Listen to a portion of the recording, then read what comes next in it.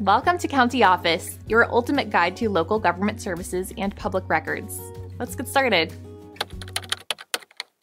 How many employees does the Department of State have?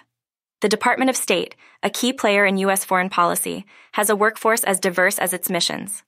From issuing passports to handling diplomatic relations, its employees are stationed both domestically and abroad. Embassies, consulates, and diplomatic missions globally are staffed by this department's dedicated personnel. They work tirelessly to represent U.S. interests and assist American citizens overseas. But just how many people are we talking about? Is it thousands, tens of thousands, or more? The Department of State isn't just a handful of diplomats in suits. It's a massive operation with a significant number of staff. These employees include Foreign Service officers, who serve as the face of America in foreign lands. They also consist of civil service employees, who keep the wheels turning stateside.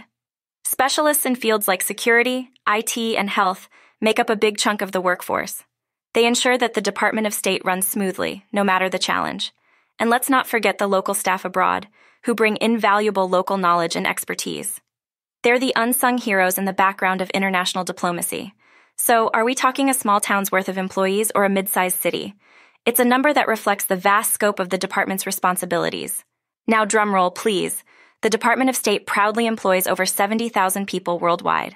That's right, an army of individuals dedicated to diplomacy and service.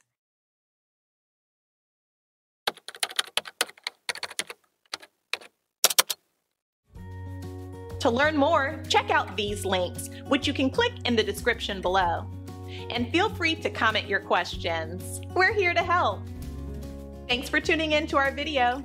Please like and subscribe and leave a comment below. See you in the next video.